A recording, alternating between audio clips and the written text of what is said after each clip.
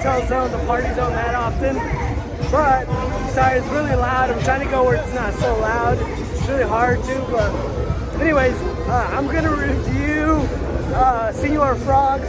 It's literally the epitome of touristy, uh, cliche, uh, Cancun. But I was kind of hungry and nothing else in this area sounds good. So I'm gonna try it out. I'll let you know. I'll show you some footage of it and um, let me know what you think, or I'll let you know what I think. So uh, if you have any questions, let me know in the comments.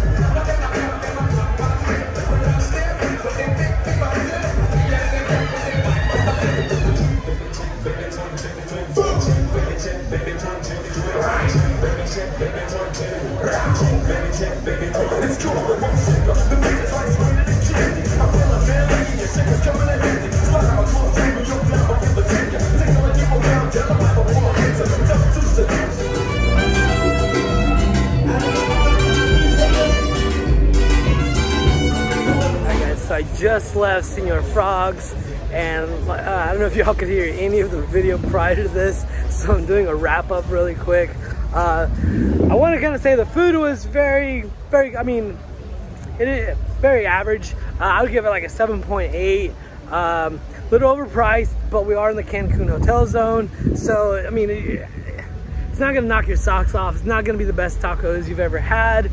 But you know um, I thought they were pretty good. I'd, like, I'd give it like a 7.8. Um, but I will say, um, I felt like I got really good service. Maybe I just got a really good server. Um, and if you've ever watched any of my videos before, I've never talked about service, primarily because a lot of the restaurants uh, here in Cancun do not give very good service. And, and I know I go to like a lot of mom and pop shops um, you know, I try to support small business as much as I can.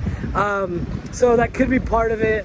Uh, but I felt like I got really good service there. And then I think the reason a lot of people go there is primarily for the show. There's, it's a lot of music, a lot of people dancing, a lot of fun uh, activities. So if you want to go for that, definitely go check it out. Um, like I said, it's not the cheapest food. I mean, not super expensive, by the way. I paid like 20 bucks for three tacos and two beers. So not super, super expensive, but definitely not cheap. Um, and like I said, just not like knock your socks off good food, but not bad food. So uh, definitely check it out. And thanks for watching this video. And if you like videos like this, make sure you hit that like and subscribe button. All right, thanks guys, bye.